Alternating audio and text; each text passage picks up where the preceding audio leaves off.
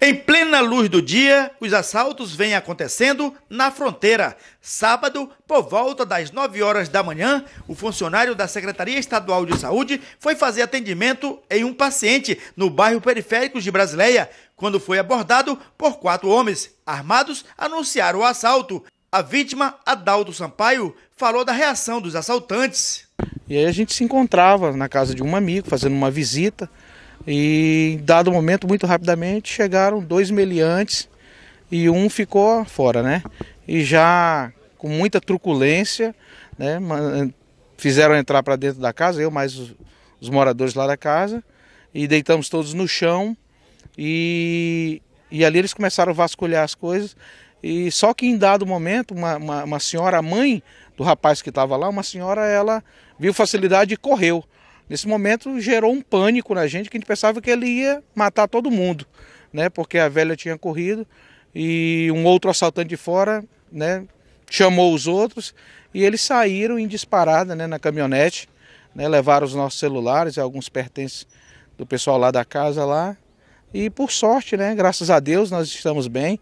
Né? Foi Deus também que, que nos livrou daquele momento, porque eles ficaram muito nervosos quando ele viram uma senhora que, que correu.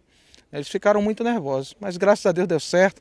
É o empenho aqui da Polícia Militar, aqui de Brasileia, Polícia Civil também, os amigos, policiais bolivianos também, que vieram aqui rapidamente também esse auxílio. E de modo assim que a gente se sente, né? A gente se sente imponente diante da situação. Ou seja, o, o, o ladrão tá, tá te roubando, e está te humilhando, te subjugando a ele, chamando de vagabundo, das coisas mais horríveis possível, possível, né?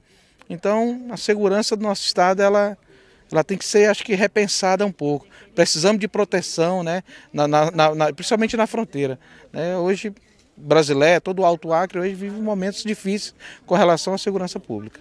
Rapidamente, a polícia militar conseguiu fechar as passagens para a Bolívia, momento que os assaltantes abandonaram o veículo na rua Marechal Rondon. É, na, realidade, desde a hora que foi informado é, o roubo desta caminhonete, né, nosso pessoal já foram acionados, principalmente para ficar na, nas duas pontes, na ponte internacional, é onde liga para a Solândia a Cobídia, como na ponte que liga Brasileia a, a Cobídia, Ponte Rio Pinheiro. Montamos um, esse pessoal e ainda ficou uns o pessoal do, do, das motos circulando na cidade. E agora, por, por, mais ou menos uma meia hora atrás, recebemos informações que a caminhonete se encontrava com dois elementos parados aqui na rua General Rondon, né, que é aqui na rua foi mais ou menos conhecido como Rua da Goiaba.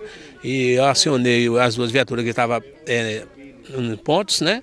E desloquei junto com as viaturas, mas graças a Deus é, não houve danos, né? Conseguimos recuperar o bem do rapaz mas infelizmente não conseguimos pegar os delinquentes. O sistema de monitoramento que foi instalado na fronteira está ajudando a polícia a recuperar veículos. Com certeza, com certeza, o sistema, o sistema de monitoramento ele está ajudando muito ali, porque você verifica se já passou ou não. Então, se não passou não, para a gente já é mais um abraço de ficar aqui monitorando dentro da área fechada.